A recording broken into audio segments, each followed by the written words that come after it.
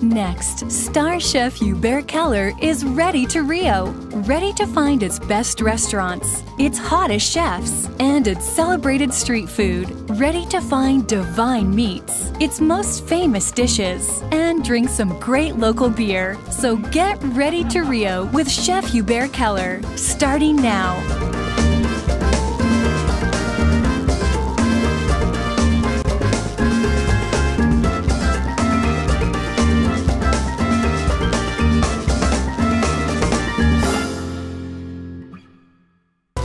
You love beer the way I love beer, we are here at Jeffrey's store. It's probably the finest and best microbrewery in Rio de Janeiro, and their beer is represented in every major restaurant in the city. I'm excited to try it, so come with me for the experience. Hey, chef. Hey, Susan, such a pleasure, really. Welcome That's to the Jeffrey store. Oh my God, so that's your world right here, right? yeah, Oh my God. this is our concept store. We are a microbrewery in Rio de Janeiro, and we are passionate about art creation, and it to be an honor to receive you here. Oh, it's good. And talking about art, right? we invite three artists to fusion art. And what's up there, Judson? Oh, this is our creative lab. Uh, this is the most important place. Here we develop many recipes. Uh, our minds are free, totally free. It's like a test kitchen for you guys, right? Perfect definition. Uh, for me, it's like playing jazz. Imagine put uh, some chef uh, with us, uh, creating without rules. So uh, mixing ingredients. I can wait until I play music with you up there also later on, because I am into music.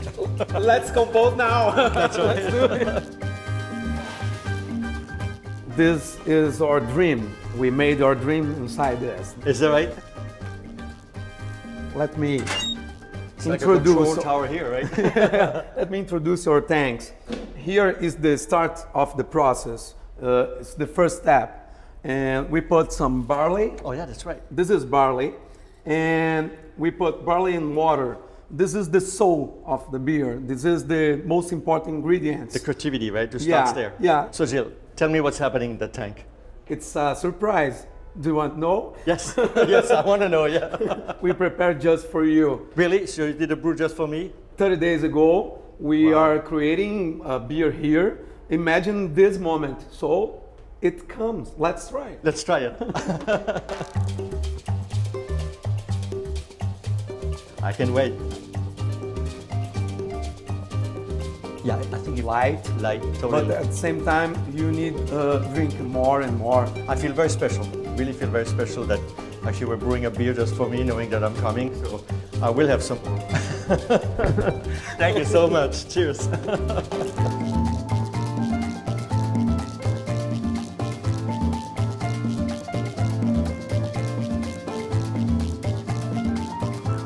So, chef, this is our Jeffrey Gallery. Uh, here we exhibit many talents uh, around the city, and month a month we exchange. So people uh, can go to drink a beer and be inspired. Because we are not a, a, a beer brand, we are uh, beer for us is like a platform to express uh, ourselves, to express our lifestyle. So beer is like a platform. and I can feel the vibe when you're here. I really do. Oh my!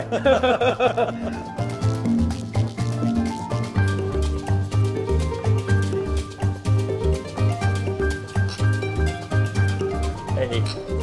All right, let's dig in, right? So it's all about Yeah, totally. beer, beer, and uh, cheese pairing, right? So, Please. all right, let's. Let's taste. It's funny because in the past you don't have the, this kind of cheese. All this cheese is local, it's Brazilian, it's like artisanal. It was amazing to see all those cheeses, something that did not exist when I lived in Brazil in the early 80s. I mean, I have to admit, I'm so impressed to see so many cheeses made in Brazil, artisanal cheeses. But here we have some fabulous goat cheeses. We have an aged cheese, like a two years old aged cheese. And look all these artisanal breads that you can find now in Brazil. It's very impressive. Hope I try this one. All right.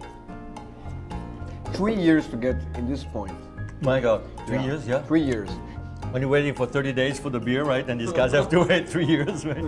You know, chef, this beer have uh, lemon peels, coriander seeds, And when we pairing with cheese, this explodes in your mouth. Yeah, and being a chef, really, when we talk about pairing, I, I, I, agree. The beer that I tasted, you actually had the chance to taste, is so food friendly, right? It's amazing. I think we have to toast to that, right? Oh, yeah. I think it's a good idea. Touring Jeffrey beer with Gilson, and much more.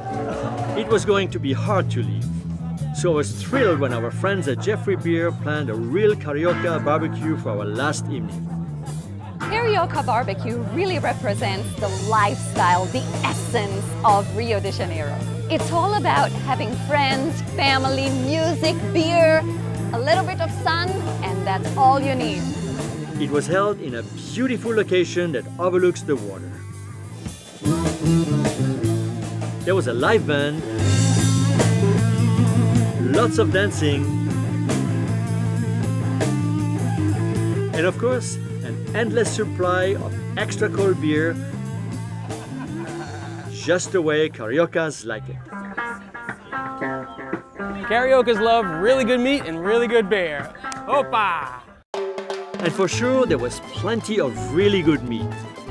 The heart of the party was the lavish barbecue arranged by Pedro from Iraja no one could resist the sights and smells of the mouth-watering Brazilian beef that lined the grill. Steaks, huge ribs, roasts, and sausages. The side dishes were everything you expect at the Carioca barbecue. Salsa, rice with jerk beef, farofa, even farofa made with green tea, potato salad, and some beautifully grilled vegetables. Carioca barbecue, it will start usually sort of early afternoon and it runs and runs and runs. So maybe by midnight, one o'clock, people start taking taxis home. But it's an all day experience. It's a holistic experience. It's food, it's music, it's drink, it's everything together. Everything I love about Rio had come together in one place. Amazing food, people with great passion and spirit, intoxicating music, and a spectacular scenery. A fantastic way to end the trip. Thank you for coming here. Thank you guys for hosting us. No, I really want to thank you. And I think we we probably didn't have the sun up here. I think but you created a sun in our hearts. Oh, thank you. Thank Cheers. you. Cheers. Cheers. To Rio de Janeiro. Rio! Rio!